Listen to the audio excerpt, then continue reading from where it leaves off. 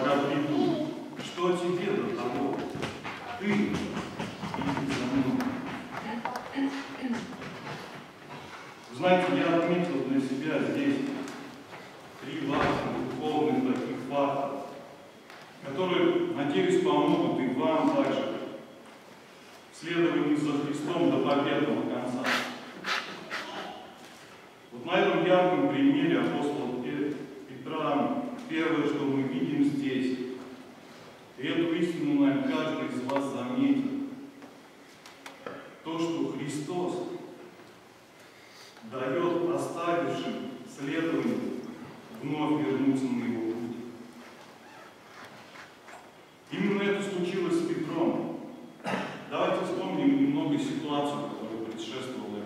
Это последняя глава Евангелия Сана.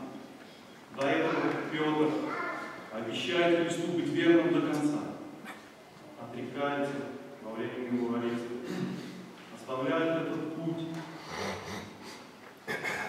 В момент испытания, когда нужно было сказать «да», он говорит у костра, «я не знаю его». И вот под угрозой гонения он избирается не будет следовать. Глава 22, к которой мы здесь обращаемся, она начинается с того, что появляется воскресший Христос. И уже не первый раз он появляется для того, чтобы поднять своих учеников. И третий стих, как мы здесь видим, описывает такую ситуацию. Симон Петр говорит, иду ловить рыбу. Говорят ему, то есть другие апостолы, идем мы с тобой. Пошли и тотчас вошли в лодку и не поймали в ночь ничего.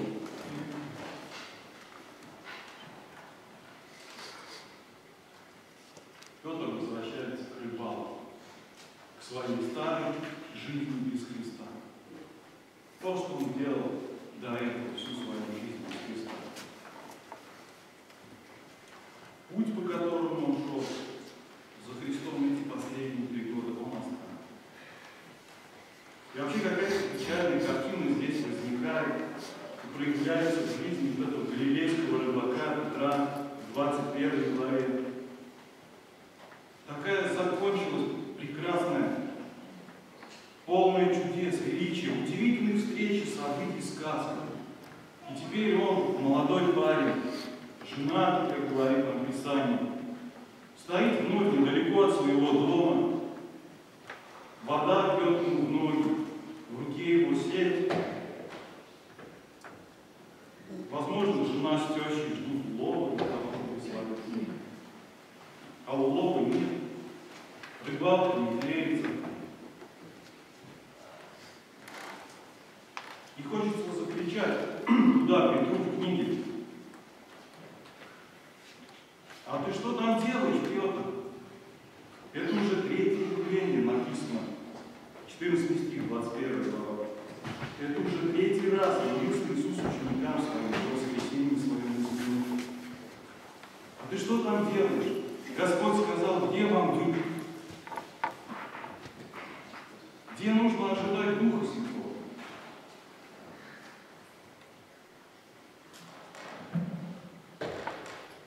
Петр отошел от своего пути. И он как бы оттуда говорит, извините, друзья, братья, я отступил, я отошел. Я оставил этот путь. всем своим душевным существованием. Далее мы видим чудо. Переворот. Внезапное появление нашего Господа на этой арене. И обратите внимание, что это появление оно было именно для Петра, в большей для Петра. Это появление Иисуса Христа, который изменит сейчас всю ситуацию здесь, в этой главе, оно было направлено на Петра. Потому что оно было глубоко символично. Обратите внимание на детали, которые описывает Иоанн. Опять Галилейский берег. Три года назад. Опять по слову Господа, если мы будем читать эту главу, вновь большой улов, как написано здесь в шестом стихе. Иисус кричит им, вот, закиньте сеть по правую сторону лодки и поймайте. Они закинули и уже не могли вытащить от множества рыбы. Опять те же слова, как тогда, три назад. Следующее окно. В стихе 9 мы читаем. Христос раз- разжег огонь, жарил на нем рыбу и хлеб. И вновь такой символизм. Вспомните, где Петр предал Христа около. Огонь, смотрел в огонь и говорил, не знаю его, не знаю его, не знаю. Так и здесь, во время нового посвящения. Он говорит ему, люблю тебя, ты знаешь, люблю тебя, ты знаешь. Опять эти три фразы звучат здесь, как тогда он три раза отрекся. Здесь три раза он исповедует свою любовь и посвящение. Опять здесь мы читаем тот же самый повтор, когда Христос ему говорит, любишь ли меня больше, чем они, как ты говорил, дом моего распятия. Я пойду за тобой, даже если все оставят тебя. Любит больше, чем они.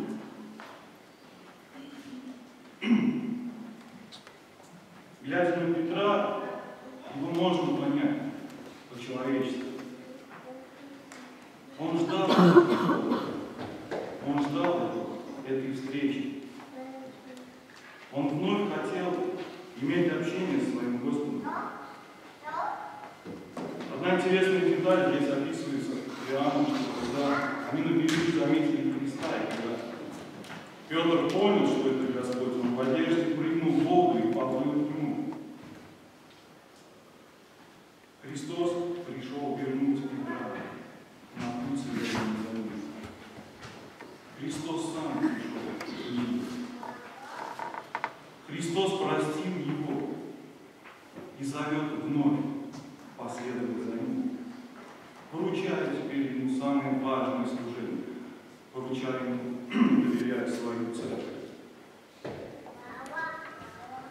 Друзья, сегодня, возможно, кто-то из вас может чувствовать нечто подобное, как было у Петра.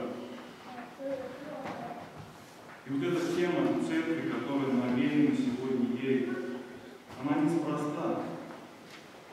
Это Христос приходит к вам. Он приготавливает вам трапезу благодати. Он прощает вам ваши грехи.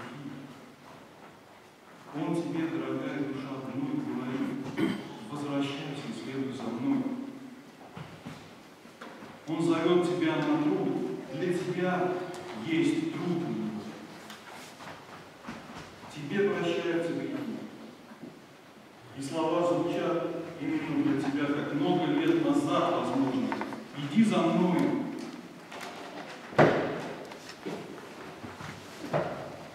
Призываю сегодня всех, кто, возможно, оставил этот путь следования за Господом, воспользоваться сегодняшней возможностью посвятить себя Ему. И действительно, Божья благодать, Божья доброта, Божье милосердие и милость – это самый могучий, вдохновляющий фактор для нас, для церкви. Мы все, как этот Петр, нуждаемся в Его милости, нуждаемся в Его прощении, нуждаемся в благодати Господней, чтобы Он пришел к нам, так же, как пришел к Петру. Эта благодать способна поднять нас на ноги и вновь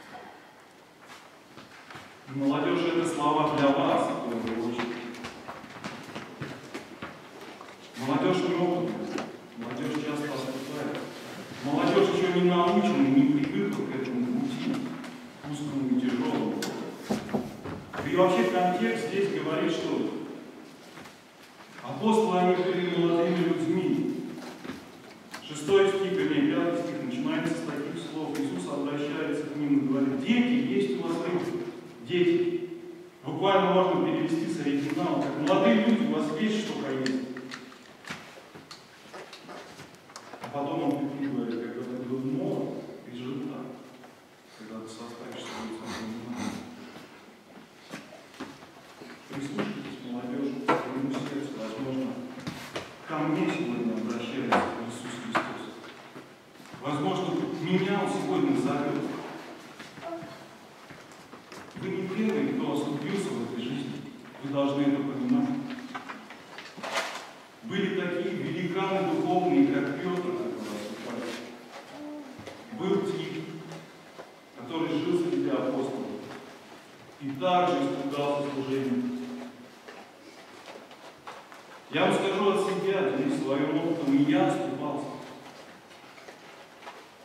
Но Христос поднимает, Христос возвращает. Самое главное,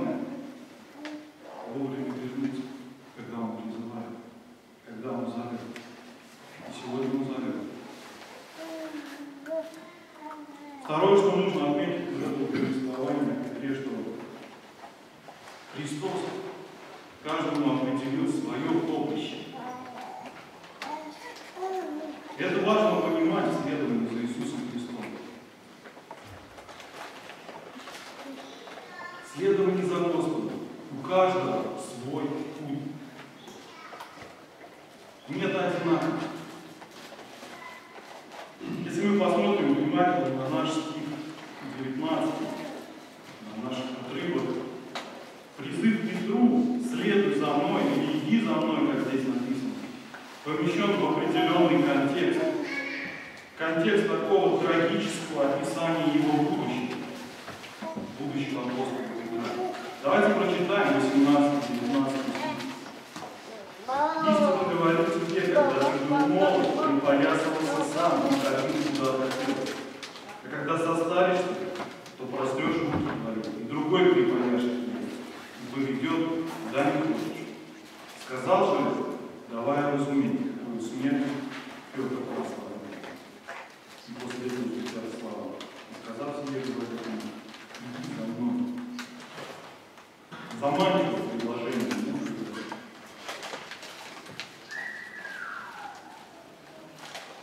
В этом картинном пророчестве, здесь, которое мы прочитали, очень яркий потом, содержится указание на смерть, на мученическую, на мученическую смерть этого молодого человека, этого молодого ученика Иисуса Христа. Христос рисует здесь ним такие две поведенческие модели. И они делятся на такие вещи. Он говорит, с одной стороны, молодость, с другой стороны, зрелость, старость, пожилой возраст. С одной стороны, ты делал сам с собой, что хотел, с другой стороны, другой будет делать с тобой, что захочет. С одной стороны, путь направления ты выбирал сам, с другой стороны, путь и направление выберет за тебя другой. Ты ходил по собственному желанию, а там тебя поведут против твоего желания. Отцы церкви, Климент, Веселий пишут церковную историю о смерти апостола Петра. Это исторический документ. Они описывают, что Петр был казнен в пожилом возрасте. Он был привязан к Христу, к Христу, прошу прощения, и имел руки растянутыми, растянутыми веревками. Таким образом была совершена казнь. Казнь на кресте, она начиналась часто от удушения. А теперь посмотрите на текст, который говорит Христос. Он говорит им, ты протянешь руки свои. И действительно, историки говорят, что Петру растянули руки веревками, его не прибивали до Христа.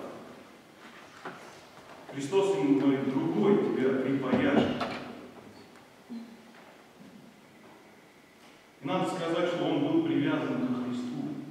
Связать поясом – это примерно одно и то же слово в греческом – припоясать. Деяния апостолов – один интересный момент, который свидетельствует подтверждение толкования. О том, как один пророк снял пояс с Павла и говорит, с этим, чей пояс, человеком поступит так, свяжут его и отведут в Иерусалим на казнь. Помните? Это одна и та же идея, в принципе, это подтверждает такое толкование.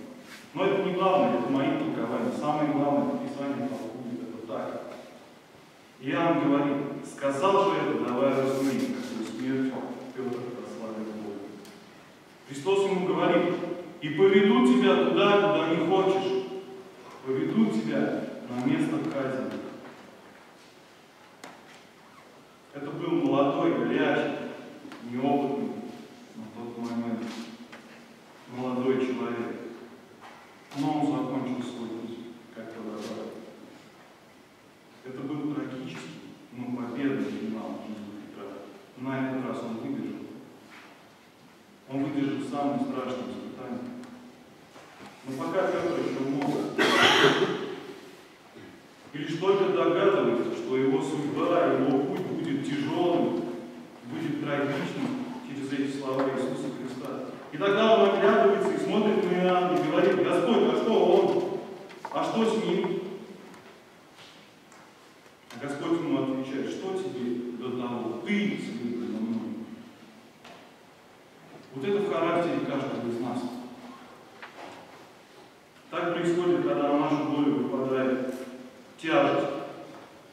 Когда в нашу судьбу приходит вот эта тяжкая доля, и тогда мы сразу смотрим на братьев и говорим Богу, почему у нас такая тяжелая судьба? Нас начинает уже волновать не наш путь, который определен нам свыше, а желание идти чужим путем. Христос сразу же поправил Петра. Твоя забота следовать за мной, взирать на меня. У тебя свое поприще, а ему я приготовил свое поприще. Это, возможно, главный урок для всех нас в нашем следовании за Христом. У каждого свое поприще. И как брат читал здесь отрывок, там написано свой крест. Не оглядывайтесь на братьев. Не противьтесь судьбе, определенной свыше для вас. У каждого свой крест. У каждого из нас свое поприще. У каждого из нас свой путь. И для каждого у Бога есть план. Для каждого из нас. Как Он прославит Бога. Как мы прославим Бога. Как я прославлю Бога. Не я решу. Христос решил. Поэтому на твоем пути, мой дорогой друг, может встречаться все, что угодно. В нашей церкви есть сестра, которая потеряла супруга. В нашей церкви, там, где я воспитывался, была сестра, которая 30 лет провела на больничном лежа из-за гангрены. Эта гангрена съела ее тело. Кто-то может потерять ребенка. Что тогда? Я знаю жизнь некоторых христиан, она очень тяжела. Они в гонениях, они в бедствиях, они в одиночестве, они без крова, они, может быть, детей не могут иметь. Почему такая участь? Почему мне такая доля? Когда другие идут многоточие. Потому что свеча горит ярче во тьме. Ты должен запомнить, у каждого свое поприще, у тебя твое. Ты должен пройти его достойно. Не проклинай судьбу, не взирать на других, но последовать Христу и прославить Его на своем пути.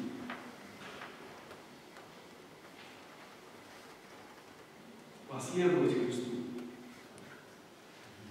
А Христос показал нам его ждала самая страшная ночь. Он, будучи Богом, не имел те голову преклонить. Он на себя взял наши позоры и грехи. Он обнищал всем, чтобы умереть за нас. И его доля была самой тяжелой, потому что он был первопроходцем. Он должен был стать примером для всех нас, примером для подражания, для Петра, для нас спустя 2000 лет назад. Страдая, не роптал, не проклинал судьбу. Он свой крест до конца претерпел, вот эту чашу страданий испил до конца. Христианский путь, он тяжелый.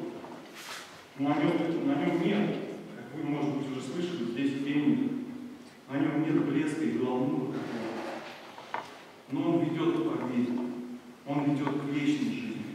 Он ведет к славе нечеловеческой, которая суетна.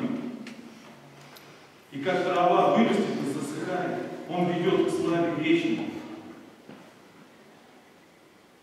славе неприходящей.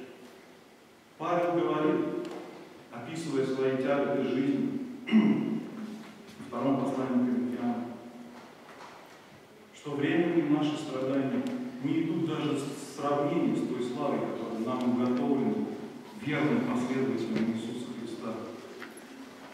Посему, друзья, крепитесь, держитесь на этом узком пути. Какой бы ни был у вас сложный путь, как Павел говорит, бегите за венцом, не волочите жизнь христианскую жалкую. Не сворачивайте с этого пути. Господь видит ваши слезы. Господь видит ваши страдания. Господь знает о каждом вашем, о каждой вашей маленькой слезинке. Помните, что немощь ваша – это ваша сила. Потому что в нашей немощи Бог являет свою силу, и Он действует. Каким бы ни было ваше помощь, благодарите Бога и прославляйте Его в своей судьбе. Третий факт следования за Христом заключен в том, что Христос зовет последовать Ему в служении. Я не хотел говорить сначала об этом пункте, но он мне не давал покоя. Возможно, это тоже одно из самых важных замечаний. В этой мы видим, что до этого Петр очень много говорил о своей верности Иисусу, о служении идти за ним, служить, а вышло все иначе. А вышло все по-другому. И первым испытанием все это и теперь Господь призывает его здесь доказать свою любовь. Всем известный отрывок, когда Христос говорит, любишь ли ты меня? Любишь ли ты меня? Любишь ли ты меня? Паси овец мой. Паси овец мой. Корми овец мой. Господь призывает его теперь доказать свою любовь на деле через посвященное служение другим. Паси овец мой. Последовать за Христом – это значит последовать Ему в служении. Девизом жизни нашего Господа была следующая фраза. Сын человеческий пришел не чтобы Ему служить, но чтобы послужить. Если ты хочешь следовать за Христом, Он призывает тебя на служение. Иди паси мою стадо, служи моему народу до самой смерти.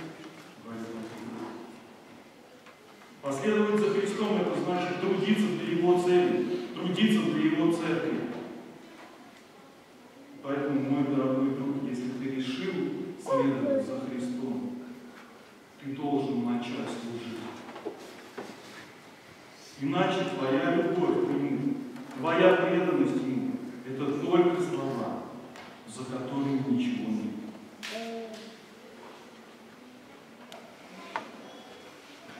Возможно, кому-то из вас сегодня стоит вернуться к служению. Сделайте этот шаг. Возможно, кто-то устал и изнемог в этом тяжелом своем пути и хочет уже все оставить и все бросить. Этого не делайте. Не оставляйте. Вопреки всему следуйте Христу. Служите Ему верой и правдой, насколько хватает ваших сил до победного конца как это делал Петр. Возможно, не нашел себя в служении. Друзья, у вас есть руки, ноги, есть разум. Посвятите их Господу. Послание к Римлянам Петр